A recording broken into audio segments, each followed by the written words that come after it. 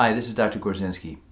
This video was inspired by a question emailed to me from a patient asking for a little bit more specific guidance with regard to use of ice after knee replacement surgery. And although I will show you how to use it on your knee, this would also be applicable to use on the shoulder or other body part that's either been injured or immediately after surgery. I've explained elsewhere how I recommend rehabilitating your knee replacement, but I think that the use of ice is extremely helpful particularly early on after an injury or after surgery. But because the knee replacement rehab tends to be fairly inflammatory, its use can still be quite helpful for up to six weeks or more after surgery. And so to begin with, um, I'm going to show you the traditional way to use ice. And typically we would use ice for about 20 minutes on and then 20 minutes off. It's important when icing not to put the ice directly on your skin, but to have a thin layer of some sort of fabric in between. It's very important not to get frostbite. And so frostbite will look like a gray area on the skin where it's actually frozen. Um, it's normal to have a little bit of redness on the skin after using ice, but it should never become completely insensate or the skin should never look gray. If you are noticing that happening, you're icing for too long or maybe wrapping too tight or you need a little bit more material in between the ice and your skin. So the goal here is not to freeze the tissues, but to reduce inflammation by cooling the tissues.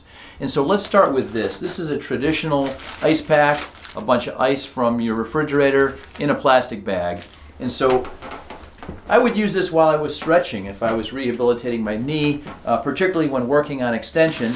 Just placing it on the knee can work perfectly fine, but as you can see, it can fall off. Uh, you could potentially use a bigger ice bag, put some water in there as well, but you would rest it on your knee, and then, you know, maybe in this case, you'd wrap it with an ace bandage so that it stabilizes a little bit.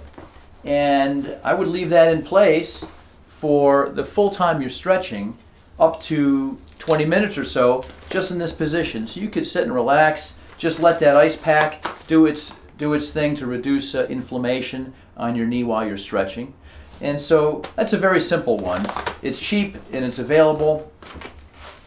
The downside is that it's a little bit awkward. It flops around. Sometimes it'll leak. Um, but it is effective. It's tried and true. And so that's the first option.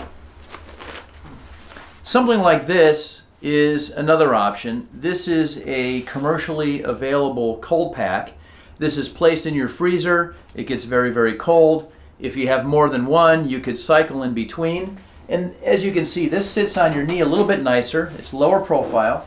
The same uh, concerns apply uh, when using an ice pack like this which is not to place it directly on your skin and make sure you don't get frostbite.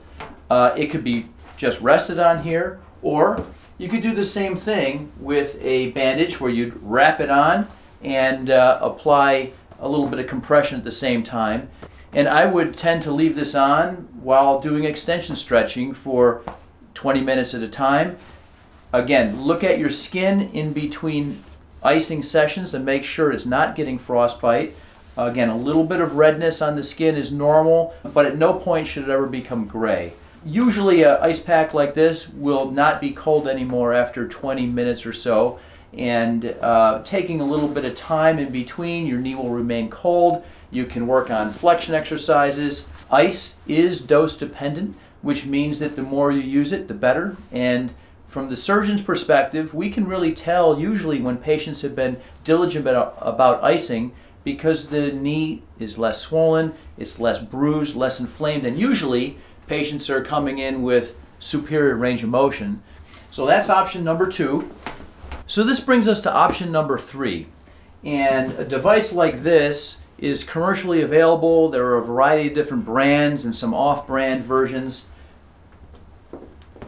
And it involves a cooling device with a pump and a pad like this that you would apply to your knee. And so the way this would go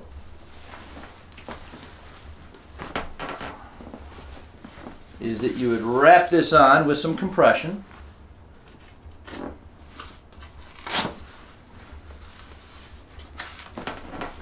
like this and then this would hook up to the machine. This machine is filled with ice and water and then the pump will circulate that cold fluid around your knee. And the nice thing about this is that it's relatively flexible, so you could stretch in flexion and extension.